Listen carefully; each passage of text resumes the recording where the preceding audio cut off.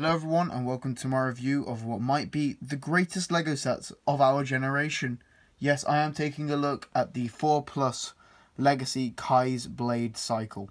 Number is 71734 and it comes with two minifigs including, I mean you can see him again, it's, it's my boy Legacy 1 Kai. So I'm going to have a look at the build first and then the figures, do it in opposite order to save the best for last. The build, I'll start with this side build. Ingenious play function here. Ah, oh, it's so good. It worked so well to launch this. I mean, you can see how expertly designed it is. Ah, oh, it's working so well and it's so good for play. Didn't have a massive issue just then with it. No. You also get this beautifully crafted uh, thing.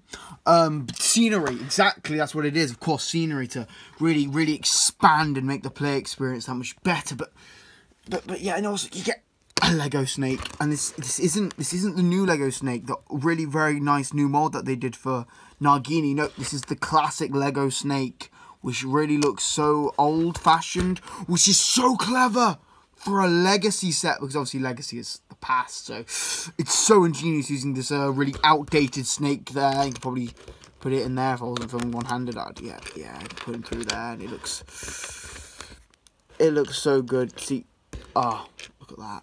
But but you don't care about the side build really uh, let's go on the main build even though it, this isn't the main thing you'll hear in the review but onto the bike itself uh, my only criticism is this should have been a sticker. I feel like making this really cool printed piece of sticker would have elevated this set and made it that much better because if there's one thing I love with LEGO sets, it's putting on the stickers. Now, looking around the side, you see this bike frame here. I like the fact that LEGO are going away from uh, brick on brick construction to just go to big, large parts. It really makes it so much more unique, I guess. Uh, then we're on the back here. We've got these blades at the back, Sword of Fire, two of them, because Kai, it's made from the Sword of Fire, and Kai's got the Sword of Fire decoration. It's so clever. It's so ingenious using this piece. It doesn't feel like it's lost the specialness it once had in 2011. No, it makes it more special how much they've used it since. Yeah, it's just so good. I mean, look at this. The wheels are split down the middle, which uh, is really cool because it creates a unique design. And maybe it could become a quad. Uh, who knows?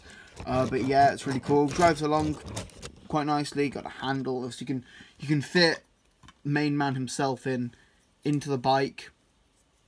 Uh, big boy Legacy One Kai. Yeah, and you can have him ride it, and it's just you can fulfill the Ninjago dreams you've wanted to for so many years. Figure is this um, Hypnobrai. He's cool. I really like the sand blue, and this head mold looks so much cooler than those molded serpentine heads. Uh, yeah, looks really nice. Uh, I like the greys and the blues. However, I think Lasher would have been so much better because if there's one figure I like almost as much as Legacy 1 Kai, it's Legacy Lasher, but this Hypnobrai, it's cool, I'm happy to have it, it's very nice for iron building, but man, I wish I could get uh, my hands on a Lasher. No, well, reason you or anyone would even consider buying the set, the greatest set, which this is, is, is for this figure. I mean, look at it, it's, it's Legacy 1 Kai. Uh, talked about how good it was in my uh, magazine review, but I realised not everyone gets those magazines. They're only really in Europe. So, like, if you want your opportunity to get your hands on such a hard to get and rare figure, then, well, this is the set to go for. I mean, it's beautiful. It encapsulates what Lego Ninjago represents. And it is it is so good for that reason. Here is the box art.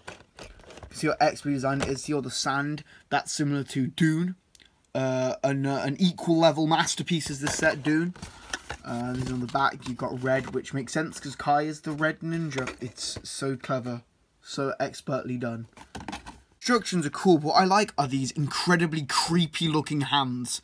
They really make you feel inspired to build it and aren't at all threatening in how uh, weird they look. the back there are advertisements for less good sets apart from this one, which is obviously maybe the one set greater because it's Legacy One Kai, and it's such an improved build for the Ultrasonic Raider.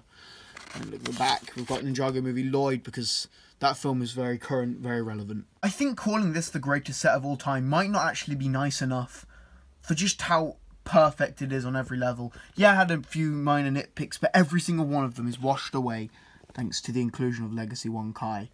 This figure, so rare, so valuable, so perfect. It's just, it speaks for itself. The set is clear cut a 10 out of 10, and I'll see you next time.